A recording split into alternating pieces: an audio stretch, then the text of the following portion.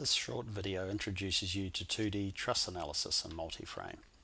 Let's start by using the generate command to generate a Warren truss.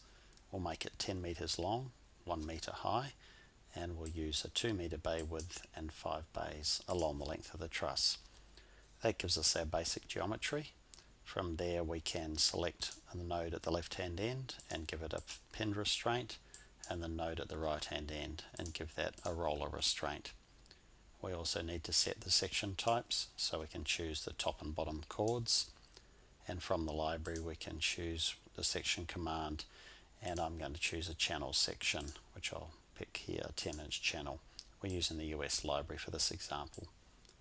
I can also select the bracing members and again from the library I can go to the angle group this time scroll through the list of available sections and then pick an angle that I'd like to use.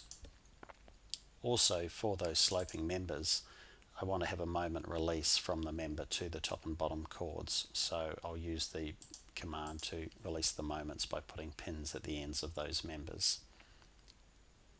Finally I want to set the member orientation so I can choose the top chord and the member orientation command I can use to graphically or numerically set the orientation of the member. And for the bottom chord I'm going to do the same thing I'm using member orientation but I'm just going in the opposite direction. So let's switch to 3D view and just verify the orientation and sizes of our sections and members. That looks good. Now we can move over to the load window and start to apply some loads. I can pick the node at midspan and I'm going to apply a point load to that.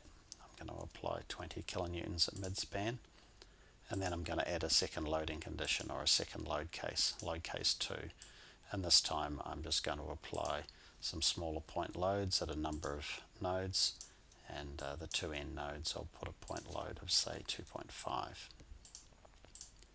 then I can carry out my analysis. I'm just doing a basic linear analysis here. And then in the plot window I can see the results. I can see the bending moments in my top and bottom chords as well as the shear forces in top and bottom chords. I can look at axial forces in the bracing members and if I switch to a 3D view uh, we can see also the axial forces and the members that have been rotated through 90 degrees. I can turn on the numerical display there and the C and T suffix tells us which members are in compression or tension.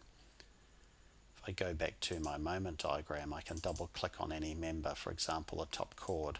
I can drag my mouse along the length of the top chord and get the values of all of my moments, shears, deflections and forces all the way along that member. If I'm looking at a deflected shape, I can use the rendering command to see how the structure deforms and also the color overlay can be used to distinguish between the relative force magnitudes between the different load cases. We see we have a larger deflection and uh, axial force on load case 1 compared to load case 2. That completes our basic 2D truss analysis. Thank you for watching.